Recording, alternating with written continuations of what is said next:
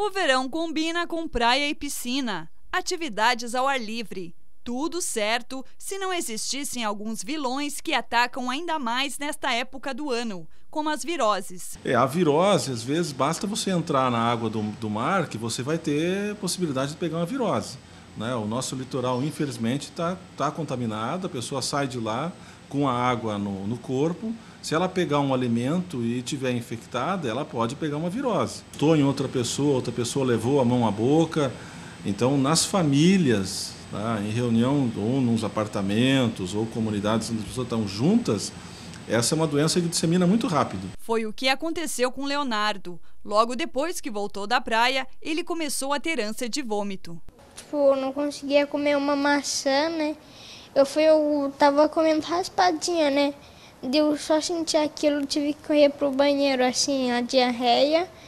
Daí depois eu vomitei. Tipo, não conseguia, assim, comer a maçã. Deve ter sido a água que não pegamos filtrada e alguma coisa do quiosque que ele comeu. Isso deve ter dado algum problema no gastrointestinal dele. Outro desafio nos dias mais quentes é o de conservar os alimentos. O calor, somado à umidade, ativa o crescimento das bactérias já presentes na comida. E o resultado para um consumidor desatento pode ser uma intoxicação alimentar. Se for por uma toxina bactéria, normalmente o tempo de duração disso vai ser um pouco maior.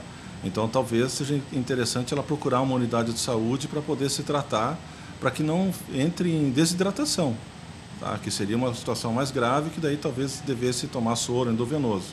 A primeira coisa que a gente pede para a pessoa fazer é a ingesta hídrica né, o soro caseiro, uma água de coco, algum isotônico que pudesse estar hidratando essa pessoa a fim de ela evitar uma desidratação. Os sintomas da intoxicação alimentar e da virose são bem parecidos. Por isso, a opinião de um especialista é importante. A intoxicação alimentar ela pode ser causada por vários fatores, né? bactérias, vírus ou a própria toxina do alimento. Então, a transmissão se dá pela ingesta de um alimento contaminado. A virose normalmente é água, tá? ou a própria mão da pessoa, ou alguma coisa que ela manipulou. A diferença entre uma intoxicação e a virose. Então, a virose é uma coisa que vai passar em dois, três dias, a intoxicação às vezes não. Segundo dados da Vigilância Epidemiológica de Blumenau, nos últimos três anos foram registrados 977 casos de intoxicação alimentar.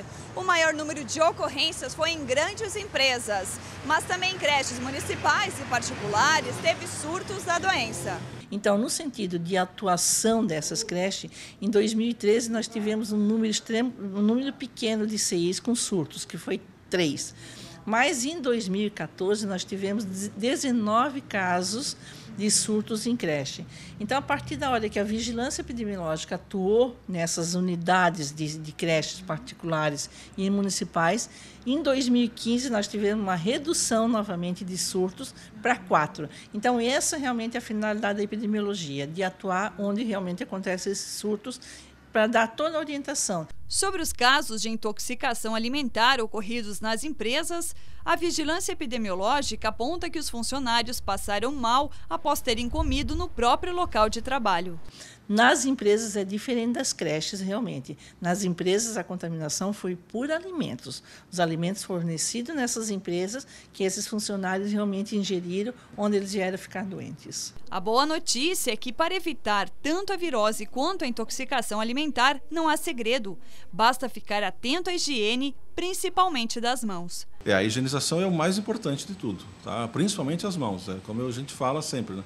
são as mãos que levam o alimento à boca. Então, ali é que está o problema. Tá? Mas lembrar bem que a hidratação é muito importante no início, assim que perceber que tem é, um sintoma de diarreia, começar a hidratação. E se perceber que não está tendo resposta com hidratação, procurar a unidade de saúde.